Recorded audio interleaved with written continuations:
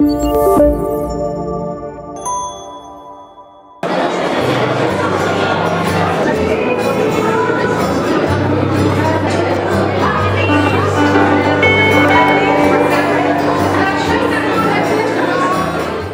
soir, je, présente mon exposition sous le thème de corps à corps. Euh, c'est exposition en réalité où euh, l'image se lie à, aux mots, à la poésie.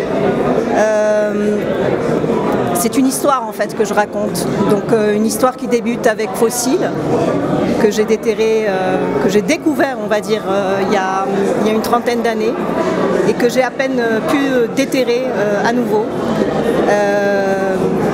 c'est une longue conversation qui, sur le, mythe de Sisyphe,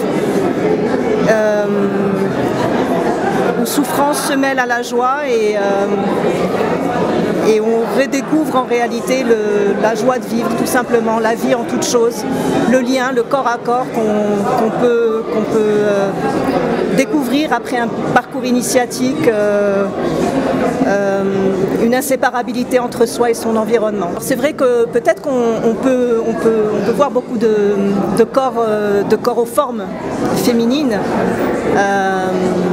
ce serait une banalité que de dire que c'est la source même de la vie. Mais effectivement, je pense qu'il y a beaucoup de poésie dans le corps de la femme, il raconte beaucoup de choses et ce qu'il raconte essentiellement c'est le côté éphémère de la vie, le côté voilà, euh, on, change de forme. Euh, voilà, il y a une identité, c'est un corps qui parle en réalité, donc, euh, qui, raconte, qui raconte beaucoup de choses.